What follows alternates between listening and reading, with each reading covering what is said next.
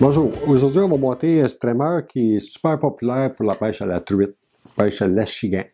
Vous pouvez même la monter pour pêcher le saumon. Donc c'est un hameçon en saumon. On parle de la Magog Smell. La Magog Smell, ça imite les petits poissons, les petits éperlants, les petits verrons qu'il y a dans les lacs. Donc tout dépendant des lacs, des fois les couleurs peuvent varier. Aujourd'hui on va monter le modèle original. Donc pour monter la Magog, le ferret, le petit bout argenté, pincelle ovale argent. Pour la queue, on va prendre une plume de sarcelle. Pour le corps, on va prendre du tincelle embossé argent.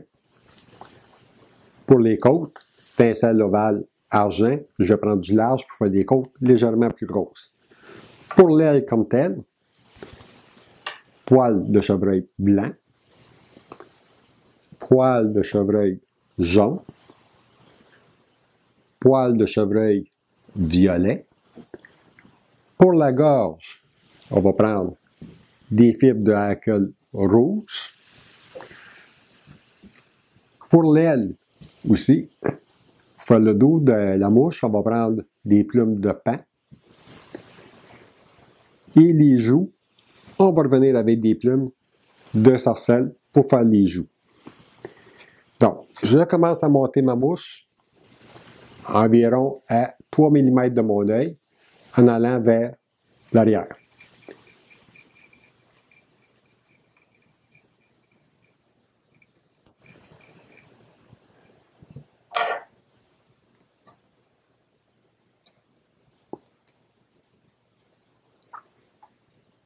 Rendu dans le milieu de l'ardillon, je vais attacher mon tincelle ovale argent pour faire le ferret comme tel.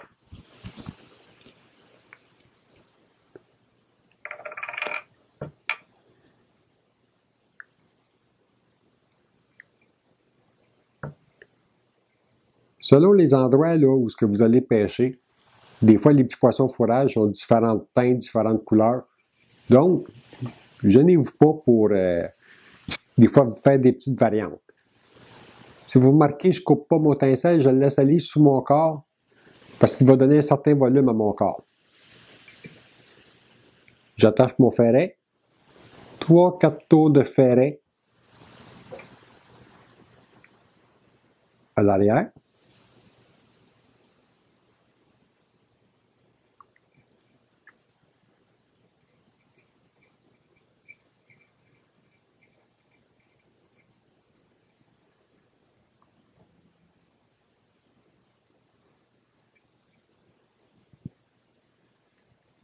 Je ramène mon tincelle sous mon corps, je l'amène jusqu'à l'avant.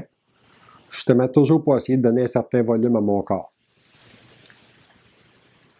Mon fil de montage que j'utilise pour monter la mouche, fil uni 8.0, il est suffisamment fort et fin pour faire ce type de mouche-là. Si vous montez des gros, gros modèles, euh, la Magog, vous pouvez la monter en tandem. Exemple, pêcher la Wallaniche, ben là, vous pourriez peut-être, euh, vu que vous avez plus de matériel, attacher le, le, wire d'acier pour unir vos tandems du 6-0 fait très bien le travail.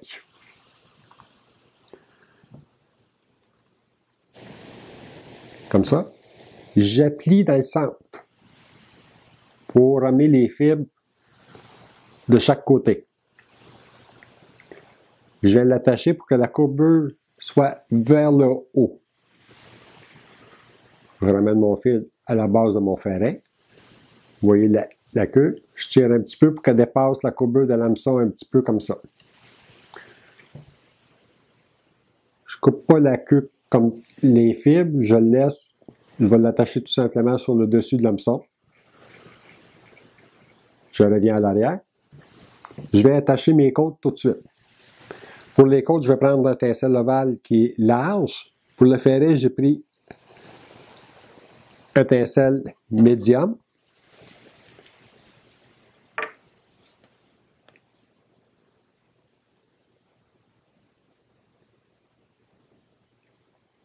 J'attache le ferret sous l'arme de l'hameçon.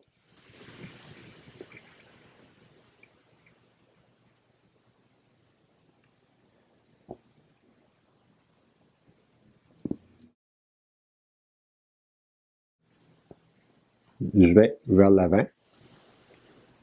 Marquez, je n'ai pas coupé mon tincelle. Toujours pour bâtir un sous-corps, j'utilise le matériel que j'attache, tout simplement.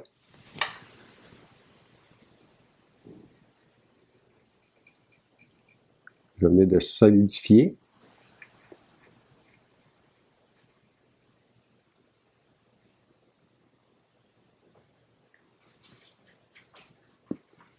À l'avant. Ici, ça va être la partie où je vais attacher ma tête. Donc, je n'ai pas de matériel d'attacher là encore. Je vais prendre une section de pincelle plat, embossé.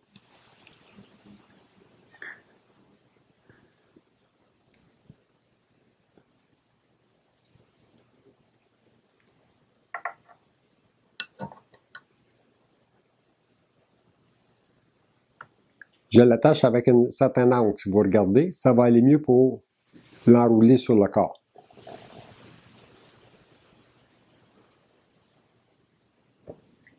Faire vos tours de pincelle vraiment côte à côte pour bâtir le corps. Je fais un aller-retour de l'avant vers l'arrière.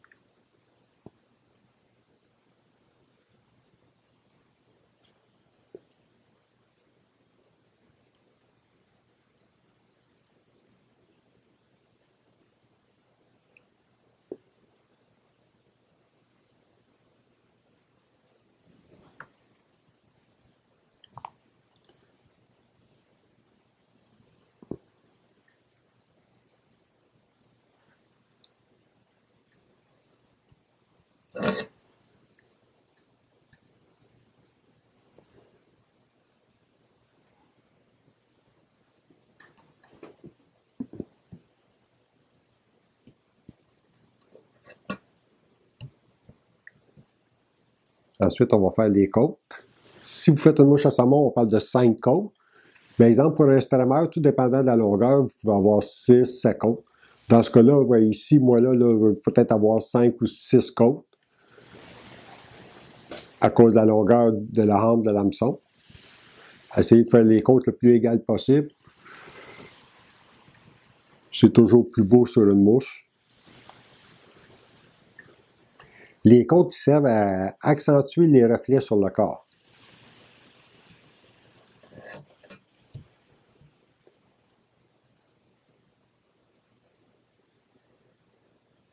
On est rendu à l'étape de l'aile. Première chose, on va utiliser le poil de chevreuil blanc pour faire la gorge. La magoxmel, originalement, le poil blanc, il est sous la de l'hameçon. Pourquoi? Pour imiter le ventre du poisson qui sont habituellement de couleur pâle.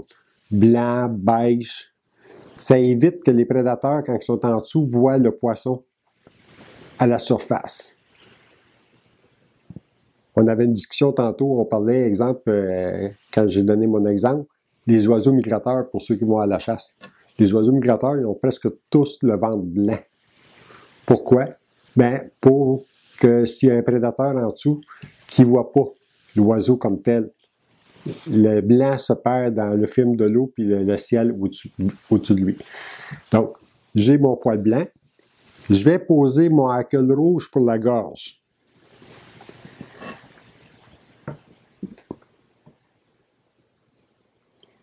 Je prends une pincée de fibre de hackle rouge et je vais venir faire une petite gorge. Si vous remarquez, il y a beaucoup de petits poissons, là, ont un petit peu un petit spot rouge là, en dessous de la gorge. Là. Donc, les petites fibres, servent à ça. À certaines places, vous allez voir qu'il y a même des, euh, poissons qui ont le. En arrière, juste, juste en, avant de la queue, ils ont comme une petite ligne rouge. Ben, des fois, faire la queue, vous pouvez remplacer les fibres par des petites fibres rouges. Ça va faire super bien la job. Ensuite, l'aile.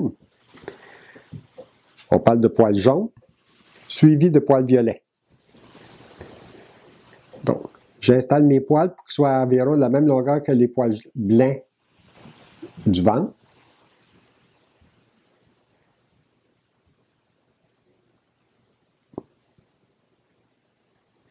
Je mets mes poils en avant et en arrière pour qu'ils soient vraiment sur le dessus de la hampe de l'hameçon.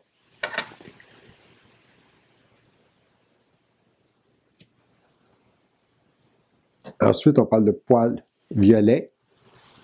Encore, selon les lacs, les endroits où vous allez pêcher, vous pouvez faire des variantes. Le modèle original, les poils sont violets, mais, exemple, sur le lac Mikinak, le bleu était super efficace. Donc, je changeais le, violet pour le bleu parce que le, poil, les petits éparlants dans le lac étaient plus de couleur bleu, bleuté un peu le, dos. Donc, j'utilisais du bleu au lieu du jaune comme tel.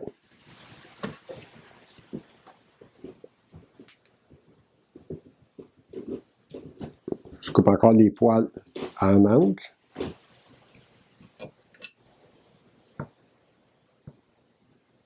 À cette étape-là, si vous voulez un petit peu solidifier votre mouche, ce que vous pouvez faire, c'est tout simplement ajouter une petite goutte de vernis dans vos poils. Ça va solidifier vos poils. Ça va solidifier votre tête, le vernis va pénétrer, il va tenir tous vos poils ensemble. Pour terminer l'aile, on va rajouter des plumes de pain, la même longueur. Donc, le dos des petits poissons est habituellement plus foncé avec des petits reflets bleus, des petits reflets verts. Donc, les barbes de pain vont faire ce travail-là.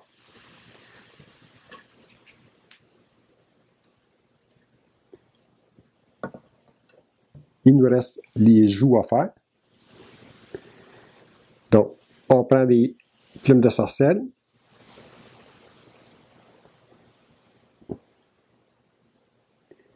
Je pose toujours le côté opposé. Je vais la mettre dans le côté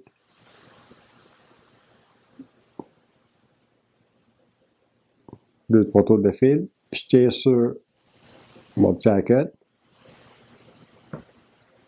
pour avoir la plume vraiment de côté pour venir couvrir le côté de l'aile.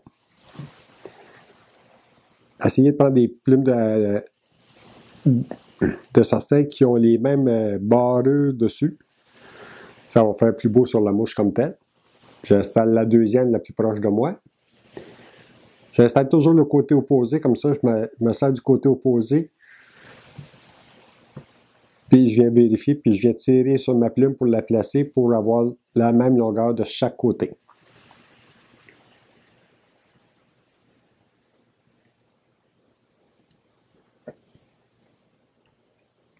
À cette étape-là, si vous montez, exemple, une magog saumon, vous allez peut-être rajouter les fibres, de, les, yeux de coque de sonora, mais pour la truite, le chigan, euh, la wananiche, je n'en ai jamais posé comme tel. Pour les grosses mouches tandem, ce que vous pouvez faire aussi, c'est rajouter un petit œil. Vu que vous allez avoir plus de matériel, vous pouvez installer un petit œil holographique pour imiter l'œil du, euh, petit poisson. Ça va faire euh, un petit peu plus beau. Je finis ma tête en enroulant mon fil correctement.